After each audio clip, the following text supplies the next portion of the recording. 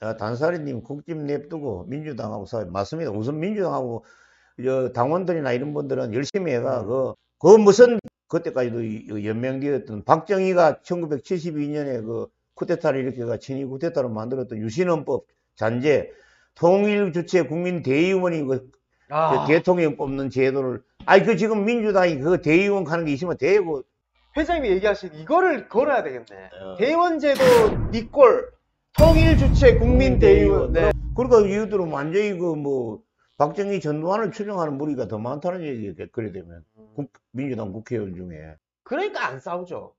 맨날 내 빼고 싸우는 애들 왕따 만들고. 아 대의원을 지가 지명하고 지가 그 대의원이 떠보고 무슨 뭐 개수작이 그거 어? 맞습니다. 어? 아, 그러니까 진짜 민주당부터 정리해놓고 나서 이제 전투력 up 시킨 다음에 아니 박정희. 전두환이 만든 유신 유신 그 독재 체제보다 더 못해 왜냐하면 그나마도 그 통일주체 국민 대의원은 국민이 그 마을에 선거를 뽑아서 국민들이 뽑아가지고 아. 형식은 아 이것들은 저가 지명하고 그러니까 유신 헌법 중에 왜 유정회라고 있어서 대통령이 3분의 1 국회의원 지명했잖아. 네네. 그거 아, 그, 그 제도에 제일 악질 제도를 골라가지고 쓰고 있는 거예요.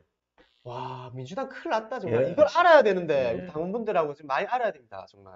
어, 와. 유- 유신헌법의 가장 독소 조항을 다 끌어모아가 지금 얘들이 기득권이 민주당 기득권들이 갖고 유- 유지하려는 거예요.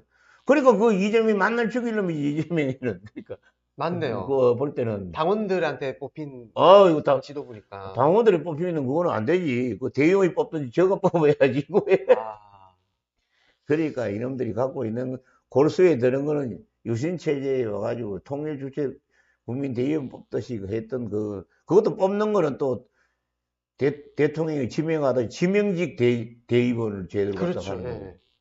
이거 말도 안 되는 소리죠. 지역위원장이 뽑습니다. 거의. 뭐 지가 뽑고 지가 그러면 또 하고 뭐 평생 그럼 해 먹어야지 그러니까. 어? 당원하고는 아무 관계도 없지. 네, 그러니까. 네. 네, 아무튼 이거 많이 좀 당원분 우리 그 시- 민주시민분들 많이 알려주시고 대의원제도 폐지 꼭 음. 이거 외쳐야 됩니다, 진짜.